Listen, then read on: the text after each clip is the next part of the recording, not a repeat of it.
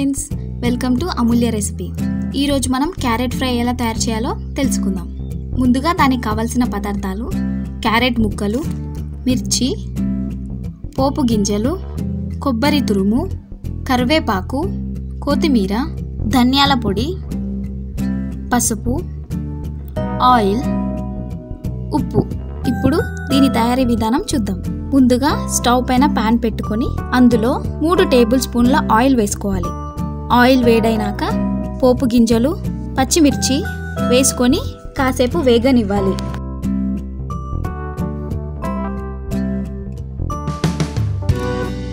తరువాత క్యారెట్ ముక్కలు వేసుకోవాలి. క్యారెట్ కొద్దిగా మాగినాక కొంచెం పసుపు సరిపడ ఉప్పు వేసుకొని బాగా కలుపుకోవాలి.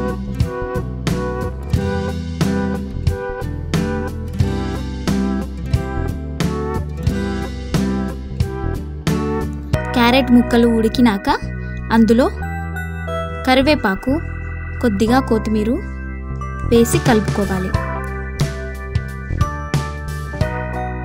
అందులోనే కొబ్బరి తురుము చివరగా ధనియాల పొడి వేసుకొని బాగా కలుపుకోవాలి.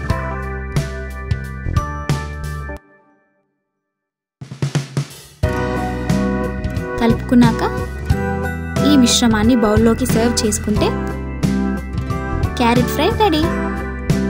దీన్ని చపాతీలో తింటే చాలా అద్భుతంగా ఉంటుందండి. Just give a try thanks for watching for more videos and updates please do like share and subscribe comment ఈ వీడియో చూసినందుకు ధన్యవాదాలు. మరిన్ని గుమగుమలాడే వంటల కోసం మా అమూల్య ఛానల్ని లైక్ షేర్ మరియు సబ్స్క్రైబ్ చేసుకోండి.